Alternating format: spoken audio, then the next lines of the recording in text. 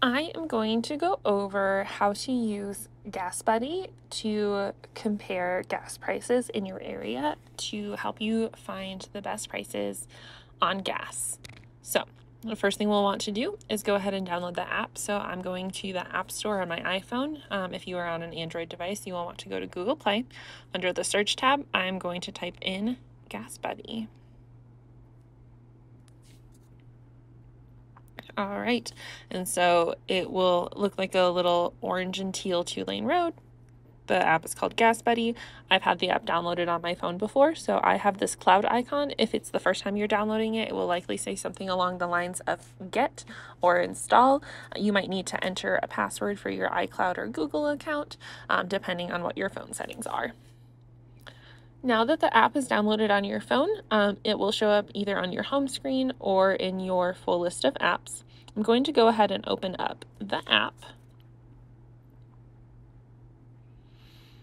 So you can sign up for an account with GasBuddy. Um, I personally have never had to, or I've never signed up with for an account, um, and I've still been able to use GasBuddy for all of the features that I would like to. Um, so I'm going to click on skip in the top corner, um, but as I am moving through the app, I will show you some of the features that will be more available to you um, if you do sign up for an app. GasBuddy also offers um, a credit card and a debit card that provide additional discounts at the pump. Um, so, depending on how much you drive, how much gas you use, this might be something to look into. Um, but this is never this has never been a feature that I've taken advantage of. Um, so I'm going to select maybe later.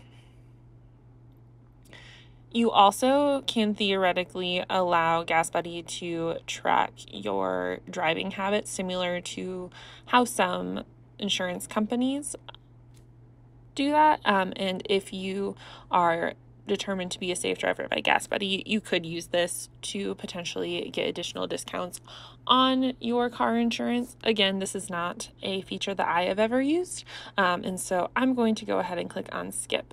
Um, now it will ask if you would be are willing to share your location with the GasBuddy app.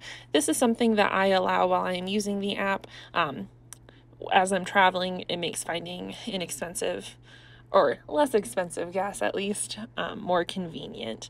Um, the the credit and debit card options from GasBuddy are very, um, I guess, very much the priority of the company, it seems like right now. So you will be given a lot of um, pop ups and ads asking if you would like to sign up for the credit card. Um, I choose to ignore those. Um, and the feature that I find to be most valuable within GasBuddy is going to be either um, this red Find Gas button at the top of my screen or the Find Gas tab um, that is in the bottom left of your screen. So, depending on the type of vehicle you drive, um, you can select the type of gas that you fill up with. Um, I use regular. Uh, that will be the price point for gas that you will be shown on your screen. Um, there are filters at the top of the screen here that are worth going through. So it will default to your current location. Um, say you're going on a road trip though, um, and you know approximately where you want to stop for gas. You can type in a different location to give yourself an idea um, of which gas station will have the best deals in a different location. Um, you can also create a trip. So I um, am at the library right now. Say I wanted to go to Colorado Springs I can select a route. And along my travel route, I can see um, gas prices along my route. So if you're going on a long road trip, this feature is quite helpful. I'm going to go ahead and exit out of this. Then I'm going to go back to the list view. In the search bar right next to where it says current location, there is a little road sign with an arrow. Um, so that is how you can access um, trip mapping in GasBuddy.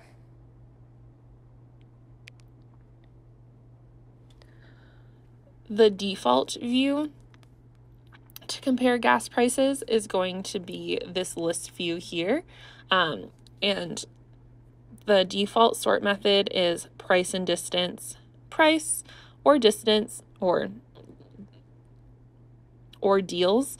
Um, so depending on what your priority is, if you are just looking to save money but you're willing to drive a little bit farther, you can um, sort by cheapest first. Um, and so it looks like right now um, there is an ad that pops up, but you can see that it says ad in the top corner. So 375 is not in fact the cheapest deal, um, but it looks like Costco is going to be the least expensive um, gas for me today, or this Murphy Express location. Um, some things to consider um, when scrolling down.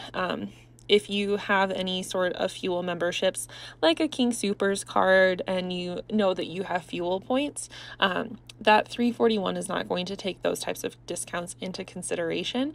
Um, so keep that in mind that you might need to scroll down a little bit um, if you want to consider a specific gas station. If looking at a list view is less um, less convenient for you or works a little bit less well than a map view, you also do have the option to look at a map view. Um, so you can toggle to that by clicking on the button that says map in the top right corner.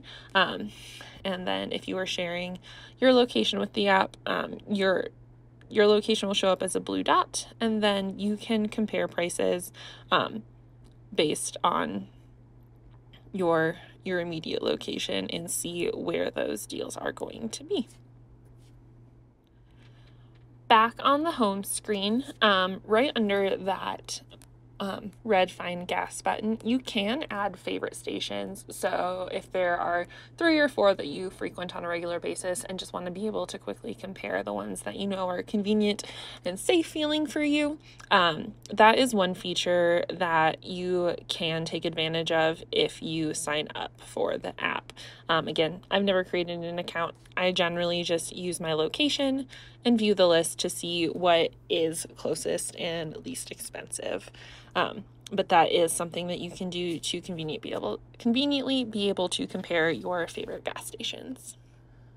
There are some additional ways to either save money at the pump or get cash back at GasBuddy.